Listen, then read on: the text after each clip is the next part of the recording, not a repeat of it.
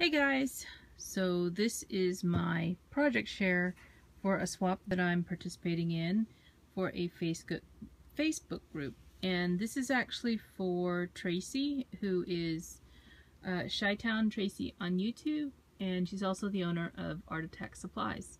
Uh, many of you know her because she sells lots of goodies, um, especially the Tilda goodies. Um, and so we're uh, in a swap and we did a, uh, we're to do an altered muffin tin. I don't know if this looks like a muffin tin to you, but my muffin tin actually, you can see the bottom here, and hopefully that book doesn't fall down in the back. Um, my muffin tin is round because this is one of those plastic ones. I guess you can put it in the microwave. I don't know. I've never made mu muffins in the microwave, but I suppose you could really, right? So uh, I know Traci likes um, teals and pinks, um, so that's what I went with, and I didn't do Tilda this time. I used the Tea Party stack that's in the back, and um, that particular page right there that I'm pointing at. Um, and it's only a little bit of paper to cover the tops of these spools that are in the middle of my muffin tin. Um, this is a six cup muffin tin and I painted it pink with the um, Krylon chalky finish um, color. Um, I got this at Michael's and I decided that I wanted to use these um, muffin or actually cupcake decorating thingies. Let me see if I can take this out. It's a cupcake uh, wrapper kind of and then inside of that, I put the Tilda wrappers that I had ordered from Traci because I needed something that was the bottom. Since these don't have a bottom to them, they typically just wrap around a cupcake to make them look pretty. And I um, really like this. This was in the wedding section, and I guess it matches exactly the Craftsmith, Craftsmith paper. So maybe Craftsmith actually um, put these out too. I don't know. Um, but uh, down in here, I'm not going to show you the goodies. Down inside of here, um, there's some goodies underneath this uh, flower that I made, and I'll show you the flower close up. This is a tulle flower um, that I made and put a button in the center. And this one happens to be pink and teal, um, two colors together. So I'm going to leave that out. So you can see that um, the muffin tin is actually um, plain where I have these little um, muffin uh, inserts or the cupcake inserts. But if you turn it around, you can see I decorated this with pearls um, in the, the same colors as the paper uh, line. So I went with the pinks and the teals and um, some of the tins, whoops, there goes the bird. The bird's not stuck down in there.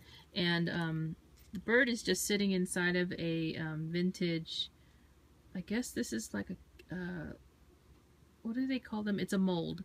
Um, but the bird, I, I glued this flag to it and put some of this gold ribbon or gold metallic. It's gold metal wire, not ribbon, but it's metal wire that's like ribbon-like. And you can just stretch it out. And um, I put this little flag at the top with a strawberry, of course, and it says, just for you. This is from Teresa Collins in gold and white. And then um, there's a pearl at the top of the flag that's got a head pin in it. I seem to like doing that with my projects. And um, because I have a lot of those straws from the same collection that the uh, muffin, muffin cupcake wrappers are from um, at Michael's, I have to use them up, you know, or I'll forget. I did put some um, trim around the tin that is glued down.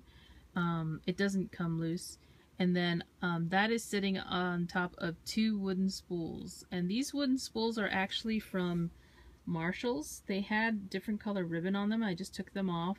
And I knew I wanted some height in the center. So that's what I did. And they're kind of offset from each other. And then I put some um, paper down which is that tea party paper. That's that one that sheet in the back. Um, I cut a circle with my circle cutter um, distressed the edges and then stuck it to the top and did the same thing here. There's You can actually see it peeking out.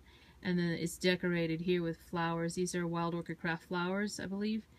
Um, and then there's some more pearls here.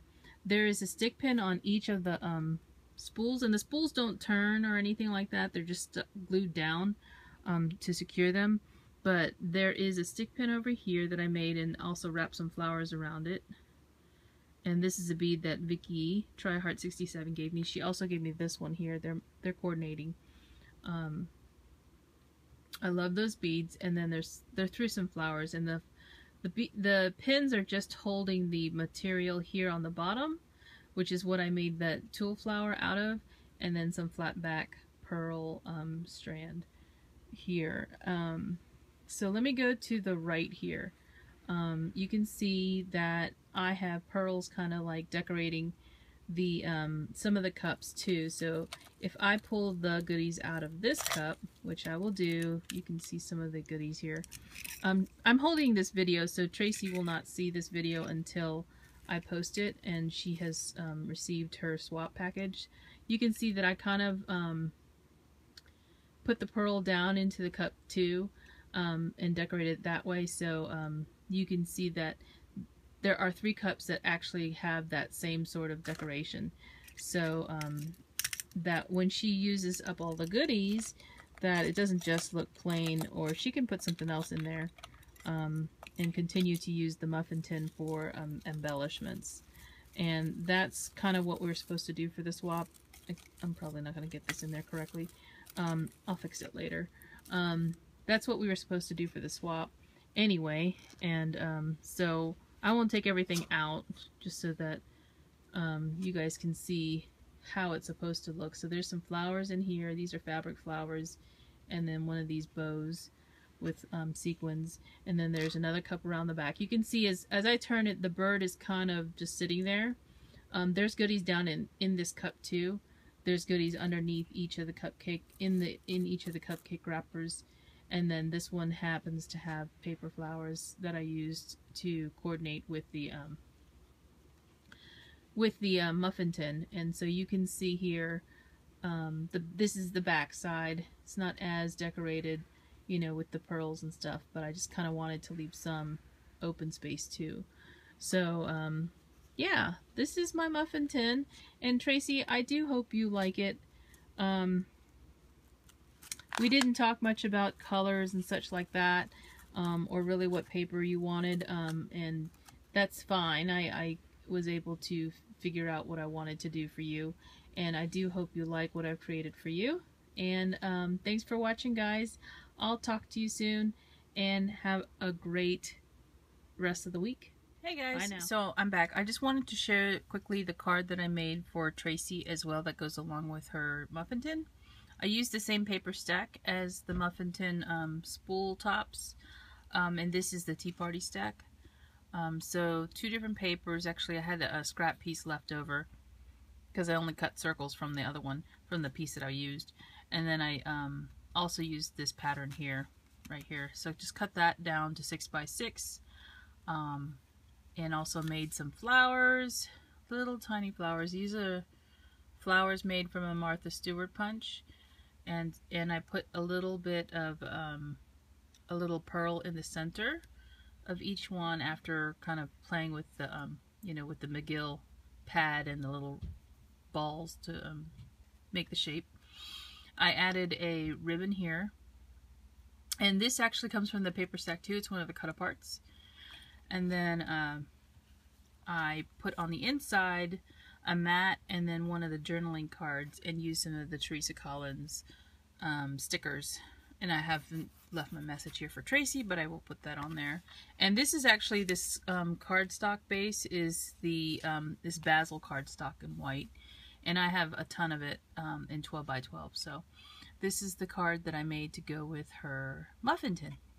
So thanks for watching and I'll talk to you guys soon. Bye.